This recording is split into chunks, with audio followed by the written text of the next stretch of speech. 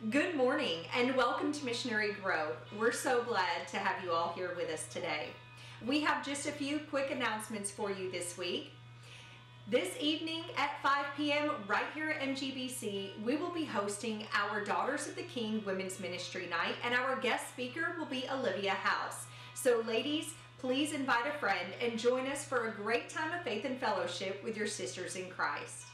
Today is the day to pay deposits. If you plan to attend this year's Fall Women of Joy Conference in October, ladies, your $100 deposit is due today, so please see Mrs. Tammy Smith.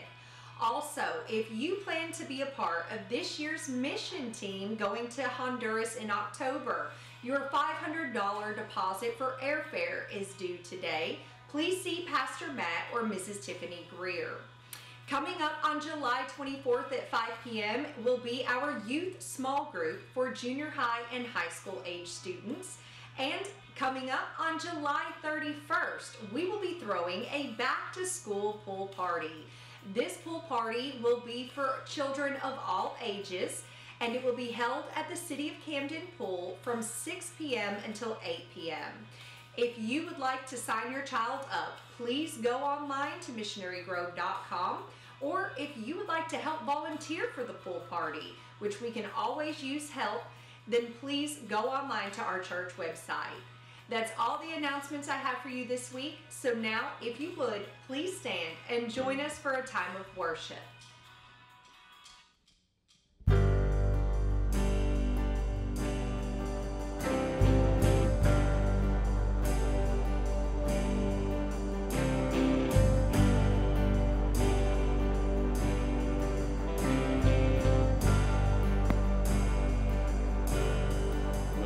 Search the world. It couldn't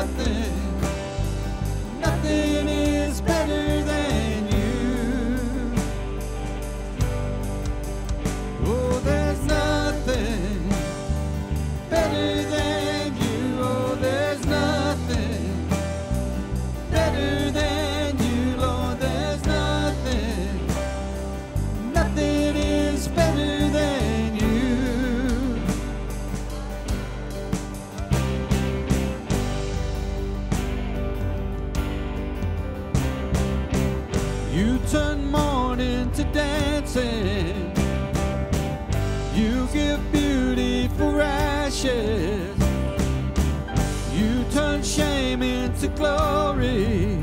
You're the only one who can. You turn mourning to dancing.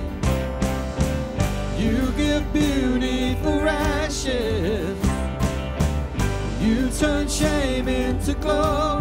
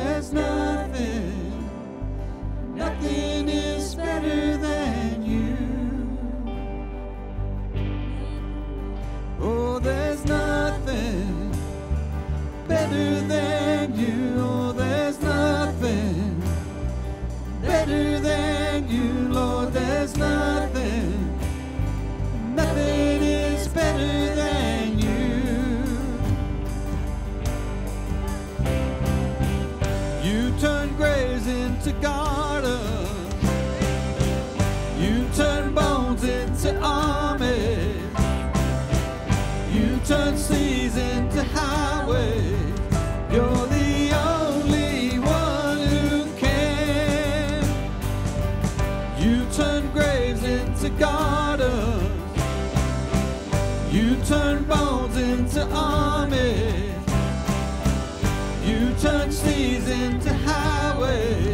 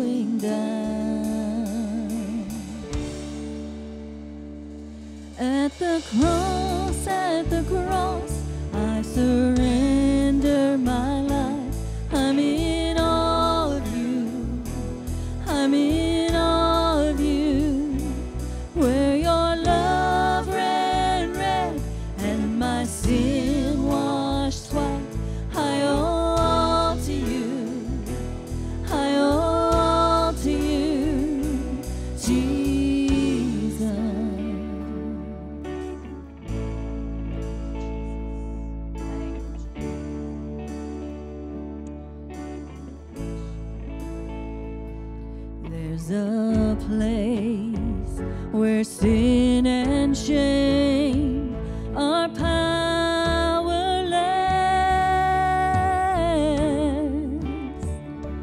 where my heart has peace with God and forgiveness.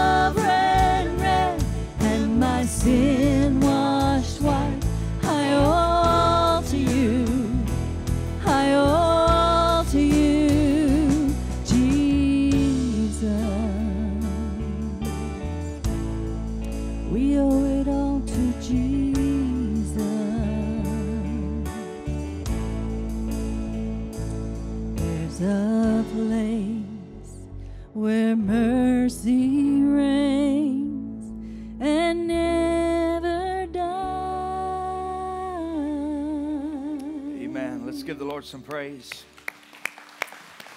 Jesus, thank you for enduring that cross for us that we might uh, not endure the Father's wrath or condemnation or any type of shame or suffering, God. We might uh, know that our eternity is settled in you, Lord, and that because you care about our eternity, you care about our right now. So thank you for presently working in our lives and bringing us to yourself, God. We love you and we praise you and we ask you in this moment as we preach the word, God, may it do what it does. It is alive and well, and so are you. Show yourself strong to us now. In Jesus' name, amen. Would you give the Lord another hand clap of praise? Amen. Amen. You can be seated. We're going to have the kids dismissed through second grade to the lobby, and we're getting ready for the preached word of God this morning.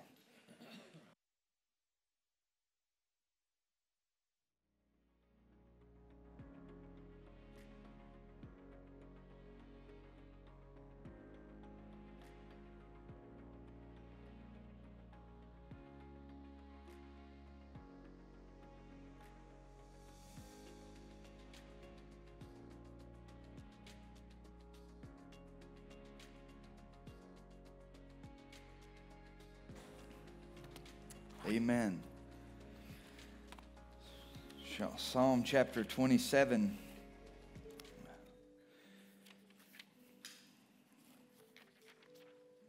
Hope you've had a blessed last week, and I hope you're ready for a good new week in the Lord. Today, you're here to be equipped for the work of the ministry. Sundays are only part of the ministry, but the majority of the ministry happens outside of this place. God's got a good work for you. Uh, God's got a, a good plan for you. And um, I'm excited about today's message um, as we talk about waiting patiently on the Lord.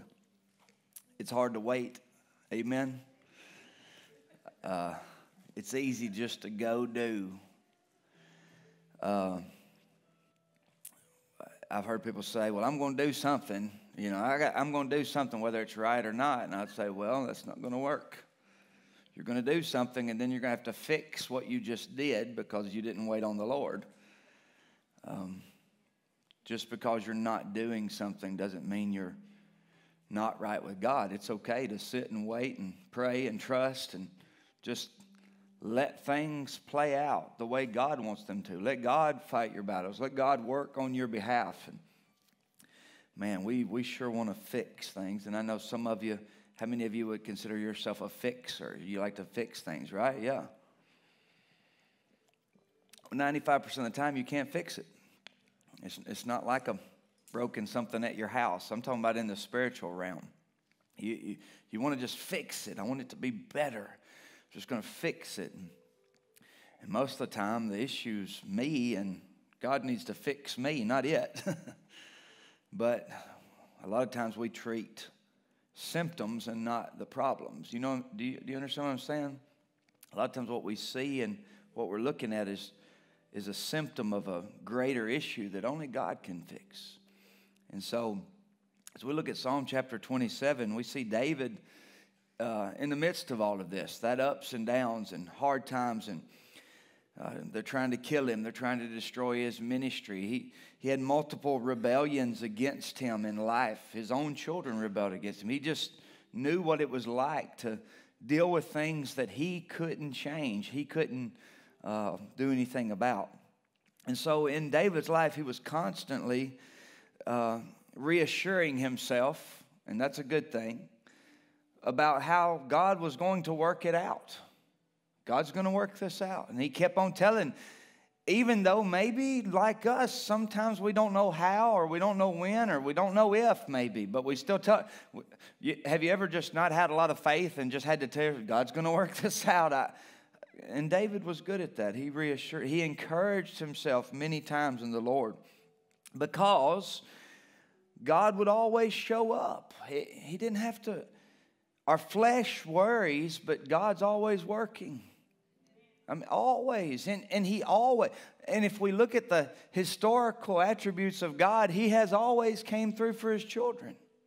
Every time, all the time, God is good and his mercy endures forever.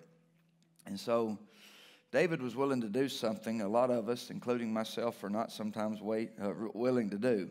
Wait patiently on the Lord. Psalm 27, we'll pick up where we left off last week, 7 through 14 this week. Hear me as I pray, O Lord. Be merciful and answer me. My heart has heard you say, Come talk with me. And my heart responds, Lord, I am coming. Do not turn your back on me. Do not reject your servant in anger. You have always been my helper. Don't leave me now. Don't abandon me, O God of my salvation. Even if my father and mother abandon me, the Lord will hold me close. Teach me how to live, O Lord and lead me along the right path, for my enemies are waiting for me. Do not let me fall into their hands, for they accuse me of things I've never done. With every breath, they threaten me with violence. Yet I am confident. I am confident that I will see the Lord's goodness while I am here in the land of the living. Wait patiently for the Lord. Be brave and courageous. Yes, wait patiently for the Lord. Let's pray. Father, help us to understand that we can see you here and now. Lord, we do not have to just endure life, we can enjoy life, and we can do it through trusting in you. Help us wait patiently. Help us be confident in you not the things of this world, not the systems of this world, not even the people of this world, but in you, who is the one who created all and sustains all by your very words and your power. May your words show us your power today, and may we trust in it fully. In Jesus' name, amen. David was confident that he would see the Lord's goodness while he was living. That's different than when you die, amen? Like everybody knows if they are saved because you have a no so salvation. If I say, Are you saved? You, I say, Are you going to heaven? well, I sure hope so, preacher. Well, you better get that figured out because a hope so's not a no so. A hope so don't get there, a no so does, okay? I know I'm saved. I know Jesus resides in me through his spirit. I know I've been sealed unto the day of redemption. I know uh, that there's, there's a room at the Father's house for me. I know that he's going to take care of me. The scripture says for all eternity. And that, that's later, though, right? Wouldn't you like some of that now? Amen? Yeah. I, I mean, I do. I don't like suffering. I don't like turmoil. I don't like trouble. I don't like trials and tribulations, even though we know it's going to be a part of life. David said, I am confident that I'm going to see the Lord's goodness now. Now. I want to see it now. I want, I, want to, enjoy life, the goodness of God, the joy of the Lord. The waiting here is the hard part. He was willing to wait until that happened. So he's in the bad spot, headed towards the good spot. but he was willing to wait in the moment, and, and this is an expectancy. This is not a like, I'm just going to sit here and, oh, it, this is like, oh God, I know, God, this, I, I can, I can, I, I, hope, like, not a, I hope so that it might happen, but a, a, a guaranteed expectancy, a binding together of faith in God's will for you here on the earth, looking patiently towards the only one who can change your situation and circumstance. The only one. Too many times we try to do something about where we are, where we are. Instead of just waiting for God to move, not doing, just being, not moving, just trusting, not manufacturing, just letting God do His work. So, what does patiently waiting look like? Number one, waiting patiently is about praying passionately. Waiting patiently is about praying passionately. Verses 7 through 10 Hear me as I pray, O Lord. Be merciful to me and answer me. The old Bible, the King James Version, translates verse number seven like this Hear, O Lord, when I cry with my voice. Hear me, O Lord, when I cry with my voice. Cry is not just a God, please help me. Y'all understand that? Anybody ever cried in here? Cried out to the Lord. Uh, not, not just God, just I'm, I'm here and you're here and we're all here and it is what it, God just help me. But cry is a passion. It's a it's a it's a warning from the inside. It's a it's a emotional plea to God that you're so moved by in the moment that it bleeds into your prayer life. That that which you're dealing with is so strongly upon you that in the midst of talking to God, something besides words just comes out of your body. Like tears, brokenness hurting, pain. That God, I, I, I've got to have some help here, Lord. Have any of you been that moment before? It, I don't know what else to do but cry in those moments. That's how I'm built. So if I get in a bad spot, I'm not getting mad. I'm get, I'm crying. Okay, that, that's that's how God built me. And when it talks about crying with your voice, it means to call aloud, to, to bleat, like a crackling voice, like Thunder is one of the words in the, in the, in the Hebrew here. Thunder's loud. Anybody ever heard thunder before? Like passionately proclaiming, God, I've got to have some help. The, I've always said from the pulpit that if the preacher's not excited, the people won't be excited. But I also believe that if your prayers won't move you, they won't move God if your prayers won't move you, they won't move God. Because in those moments, do we really believe this is what, do we really have, is it really that bad? Is this moment, am I wait, I'm not wasting God's time, but I've got to be serious about that which I am taking to God. This is the repurposing of the energy and passion that would come. Listen, I want to go do something, I want to go fix it, I want to make this happen. Repurpose that fix it energy towards passionately praying to God. Stop doing and start being in His presence. It's okay to want to do something. Don't do it though. Repurpose that passion in your prayer life. See, the hard thing for us to, I guess, stomach is God doesn't need our help. That's hard. That's hard for me to deal with. that God doesn't need my help. God doesn't need, God, I don't have to be the preacher behind this pulpit. I, I don't have to be the pastor here. I don't even have to be like God doesn't need me to make the world go round. God, and and when I understand some of this, it stops me from trying to fix that situation. Because I understand God doesn't need me to fix this. God doesn't need my help. God's in full control of this. And me worrying and spinning and all of this stuff doesn't fix any of it. I'm just going to go to Him and say, God, you don't need me, but you love me. And you love me enough to listen to me. And because you've listened to me, and this is a desire of my heart, and I'm running after you, you're going to move on my behalf. You're going to work on my behalf. He doesn't need me to fix it, I need Him to fix it. I need to believe that He can that He will and that He wants to. That He can, He will, and He wants to. I need His help. I need him to move into this place that I'm at, like David, and say, I can't do this. I've got all these people lying me. I've got all these issues in my life. I've got all this stuff going on, but I'm confident that I'm going to see some good in my life. And I'm confident that it's going to happen before I die. So I'm just going to sit here and wait on the Lord. When God moves you, move towards Him and pray passionately. I love verse number eight. My heart said that I heard you say this, God, come and talk with me. But too many times our response is different. David said, I've heard you say, Come and talk to me.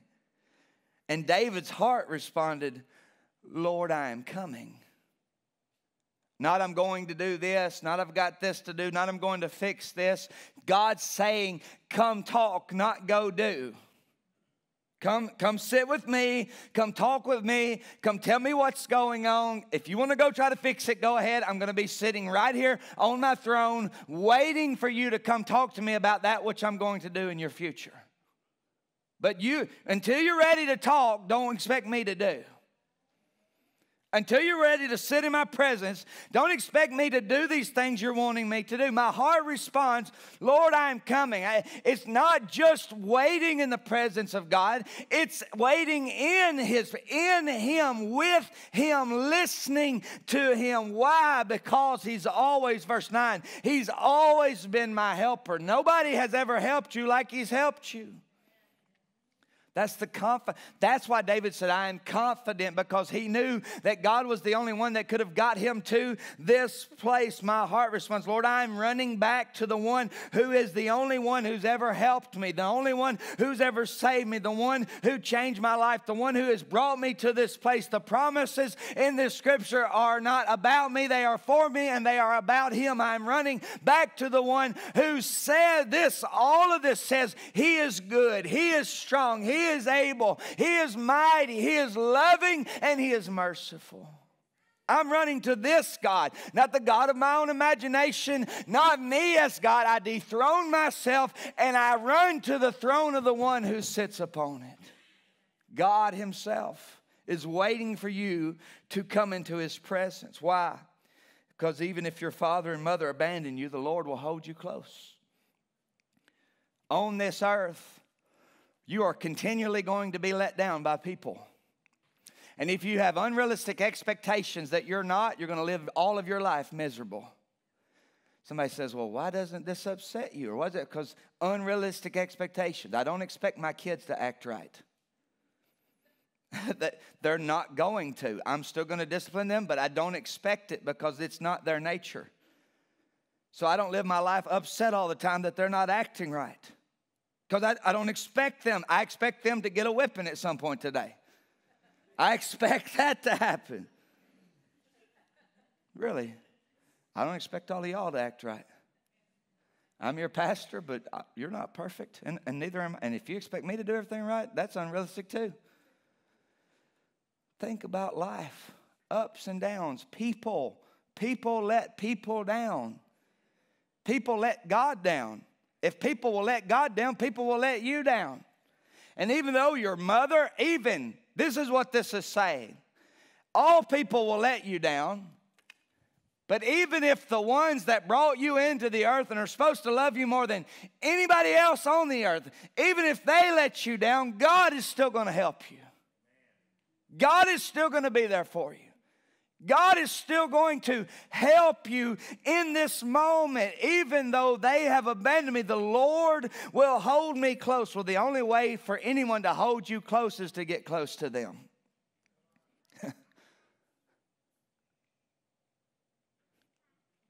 you see this? If you're not praying passionately in the presence of God, the Lord the Lord will hold me close. You got to get close enough to Him for Him to wrap His arms around you. Prayer makes the difference in waiting patiently. Number two, waiting patiently is about being taught purposefully. Now, think about this. Everything that's happening in your life right now is teaching you something. Everything. Now, we don't like that either because we don't want to be taught anything, right? I know it all. I, I don't want to, like, but we've got to see, okay, I'm waiting, I'm praying, God, you know where I but I've also got to see that which is right in front of me and what God's trying to do in my life. We waste our trials, we waste our trouble, we waste our tribulation we're praying God, fix it, praying God, fix it. But in the moment of that, while God is at work, while we're waiting patiently, we got to be taught purposefully. Like there's something going on here. God, what are you up to? God, what are you doing? God, what do you want me to know? What do you want me to see? What, what am I, what are you doing in my life to make me into who you want me to be? Everything that David was going through was going to help him rule the kingdom of Israel. Everything. Everything was purposeful in his life. Waiting patiently is trying to understand what God is trying to teach us in the moment. What, what is this moment about? And when I say trying to understand, that's exactly what I mean. I'm not saying you're going to be like, oh, that's exactly what, and that's exactly, and that, no, no, no, no. God works in exacts like perfects. We have to pray, God, reveal to us through your Holy Spirit what you're doing. Sometimes we get it and sometimes we don't. Amen? Sometimes I'm like, that was it. And sometimes I'm like, God, I don't know what this is. And that's okay. That's you're not God, and that's okay. God, I don't know what this is, but I'm not going to waste it like a stream that flows between its banks, following a certain path, so does our lives. It's pointed, it's purposeful. It's going, your life is going in the direction God would have it to go. The banks are the will of God, and, and you're in the middle and you are following. This is how it got. It, it's just like that, really. It's back and forth and up and down, and all these rocks and all these things that are in that same stream, the stream of life, and you're just going and you're going, God, uh, one second it's like calm water, and the next second it's like rapids, but everything has a purpose. And every moment is a teaching moment where God, like a teacher in front of the classroom, is pointing to his whiteboard saying, And this is what I need you to do here. This is what I'm trying to teach you. And God is the master of that, not me. I'm pointing towards God and saying, He's the one trying to teach you. But you gotta, you can't be so worn out by the circumstance of situation that you don't look for the spiritual implications in it. So many times we get so beat down in the moment, the last thing we think about is God, what are you trying to do here? God, what do you want to do here? God, what do you want from me? In fact, a lot of times in these moments, we're probably thinking, God, there ain't no way you can use me or work with me or love me. You gotta, we get down on ourselves, and the devil uses that bad mind that we still deal with all the time to bring us to a place where we're not looking for the spiritual things, but we, we get depressed and we get anxious and we go through these cycles of emotions that keep us in a whirlwind of trouble instead of going, God, you're good. There's something God, I will just trust in you. I will pray to you and I will keep looking towards the one who created all this and has a purpose for me. God has a purpose for your life and the pain and the trouble that you are going through. This waiting with purpose. The purpose of what you're going through is to teach you how to live life. Verse number 11 teach me how to live. Why am I going through this? Because you're going to go through it again and you're going to go through it again. And hopefully, by the second or third time, we might react correctly. Amen? or I'm going through it in order to help somebody else live through it. Why do I suffer? Because I'm going to help somebody after me not suffer like I suffered. I'm going to find that. What, why am I dealing with this wayward child? Because there's a 20 year old right now raising a four year old that's going to be wayward at some point, and you, as an older woman, are going to be able to comfort that younger woman and help them through that moment. This, the, you're going through a divorce. Listen, it's not good. You're going to stay with God. You're going to do what you need to do, but somebody else is going to go through one also, and you're going to help them. You're going to be married for 25 years, and it's not going to be easy. There's going to be a couple that's trying to give up on it that's been married about two. And you're going to be able to say, hey, I wanted to give up at one time too. But God saw me through, and He will you too. How to live? How would we know how to live if we didn't have issues in life? we would live like everything was chocolate and pie and ca- like confetti, like Blake, confetti pockets, you know? Y'all ever heard of that for that?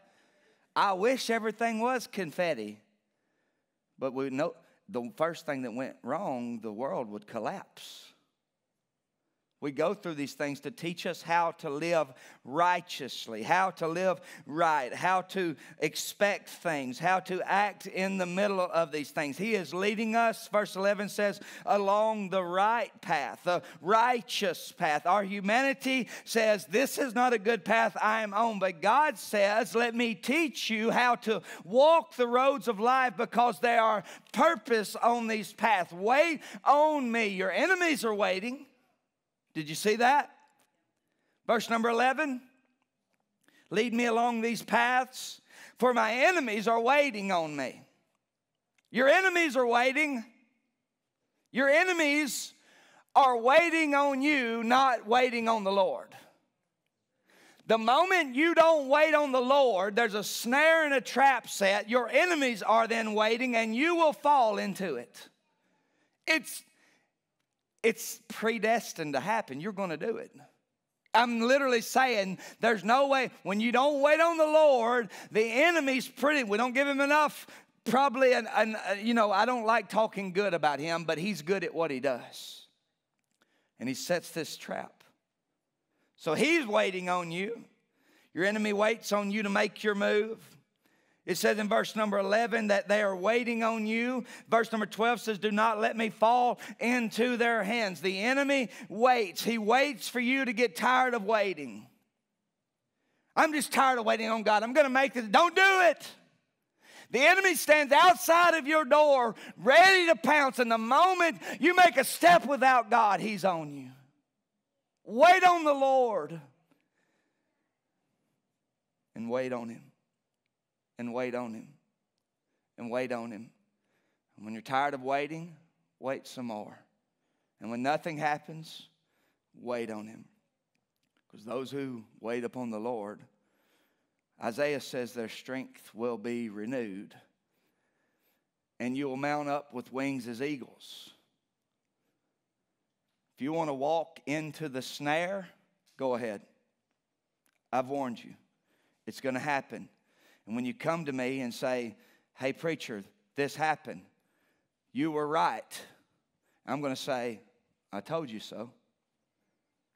Or do you want to wait on the Lord and be strengthened and given the ability to soar above that which you are dealing with? To rise up on wings as eagles, to have this kind of, con- this is soaring confidence, verse number 13. Yet I am confident with all this bad and all this trouble and all these issues, I am being threatened. People are lying about me. I've not done anything wrong. And that's when it's the worst, is when people are talking about you and they are lying on you. If, if I did it and you say I did it, praise God, I did it. But it's even worse when I haven't done it and you're still saying I did it. That's ter- false accusations are worse than the truth of what I actually did. These moments can get you down, yet you can soar above those moments. Yet I am confident that I will see, I can believe in the blessing of now and later. I can believe in the blessings of here and now. David is saying, God's going to bless me while I live. I know when life is over, it's going to be good, but I want to see the goodness of God now, so I have to wait. And that's going to take verse 14 bravery and courage. God, give me strength. God, I, I'm going to wait on you. But I am so much flesh and humanity that I need you to help me wait on you. I need bravery because I don't know what I'm walking into, but God, I know that you are in control. You make the crooked path straight. God, I understand all of this. I don't know what's going on, but I understand what your word said. I need courage. I need courage to, to just do what you're saying. And in this moment, it's just sit here. Bravery and courage. See, sometimes the bravest thing you can do and the most courageous is not do anything. We think a lot of times it's go get the rocks out of the creek and kill the big giant. Amen? It's kill the bears and the lions. That's what David did, right? Own hand. Anybody ever killed a bear with your own hands in here? Some of you been lying to your wife. That's how you got her. Your looks didn't help any, but you did kill that bear with your bare hands that time, hiking up in the mountains. Or that lion, or that giant. Bravery, strong courage. We think that's what that looks like.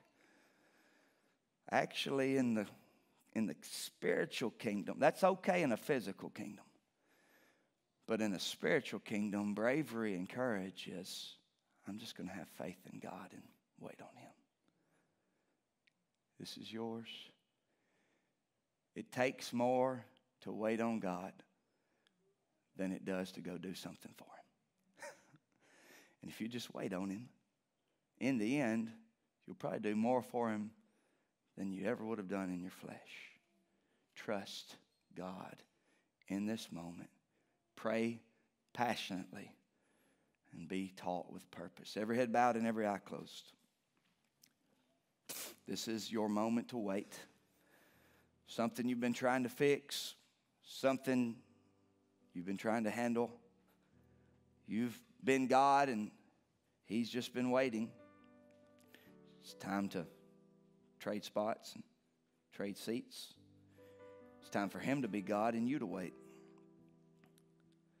People already coming to the altar because we know when God speaks to us. So, in this moment, if you just want to wait on the Lord, come lay it at His feet. That's a good first step. Here it is, God. Here it is. Here's what I'm dealing with, God. First, you've got to resign from the throne of your heart. You've got to lay it down and leave it with Him. And you don't have to go back and check on it and see if it's being taken care of. Give it to the Lord. Father, in Jesus' name, thank you for these ones that just want to wait on you. They've seen that the thing that they are dealing with, Lord, is too much for them to handle in their flesh. And what a great realization that is. God, there's nothing greater than just letting you have it.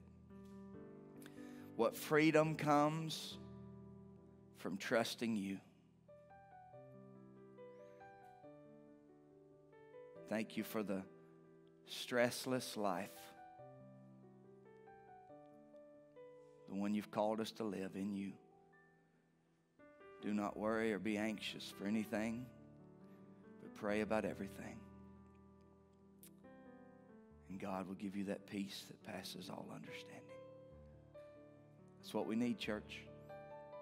You come if you want to pray, or pray where you're at. But let's just wait on the Lord this morning.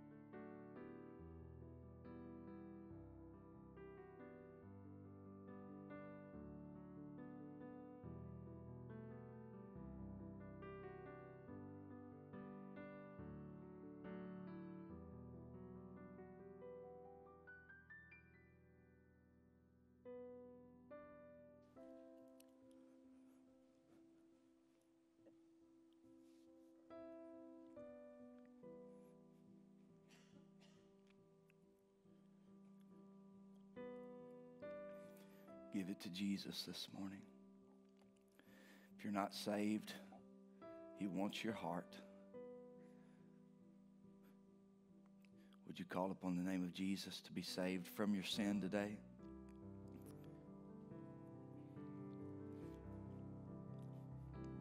If you're not a Christian, Christ will save you today through His shed blood. Would you pray and ask Him to? By faith, you believe.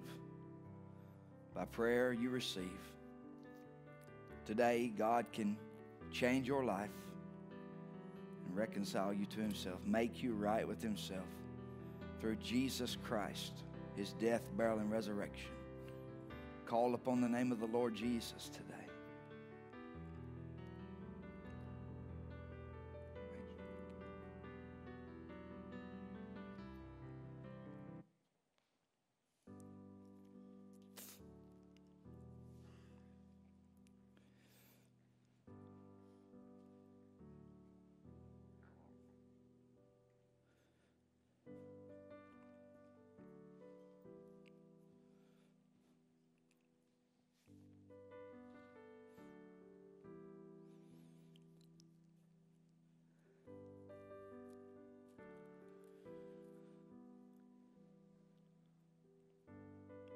Patiently for the Lord. Be brave and courageous. Yes, wait patiently for the Lord. Father, help us to wait in all things. In all things, help us to wait. Help us to hear your voice before we move. Help us to trust you in those moments when we hear your voice, to have faith to take that step. But let us be led by you and no one else. Let us trust in you in all things, for all things. We thank you for loving us. Yes, we are confident, and yes, we will wait and trust you that we will see your goodness in the land of the living. Thank you for that. In Jesus' name we pray. Amen. Aren't you thankful for his goodness, church? Amen. Amen. Thank you, Brother Matt. Patience, that's one's always hard for me. Waiting on the Lord. I like to go do things. That's what everybody always says. You asked me to do something, then you went and did it. Like, sorry, just trying to, can't be, it's hard for me to be patient. But all right, uh, don't forget about Sunday school. Uh, we got Sunday school here in just a few minutes. I look at my wrist like I know what time it is, but I don't. I don't even wear a watch. I never wear a watch. I don't have anything on my fingers. I am married. I'm not available. I just don't wear anything on my hands or my fingers. So, just thought I'd go ahead and throw that out there in case y'all were wondering. I don't know what time it is, but we have Sunday school here in just a few minutes. So, if you would like to join us for Sunday school, we'd love to have you. We can get you plugged in, and you can see me or Miss Janie Hunt. We'll get you plugged into the right class, and uh, we would love to have you join us. Don't forget about uh, the offering boxes on the back wall, building fund, uh, different things you can uh, designate on your poc- your envelope that's in the seat pocket in front of you and uh, put it in the box and we'll get it collected and put where it's supposed to be. Let's all stand.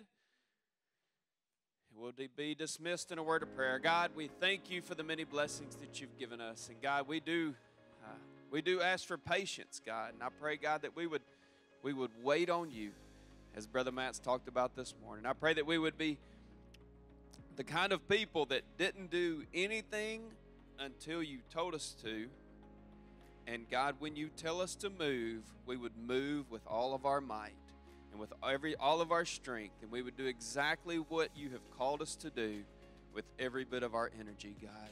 Because we know that we've waited on you, and we know that you've called us to do something.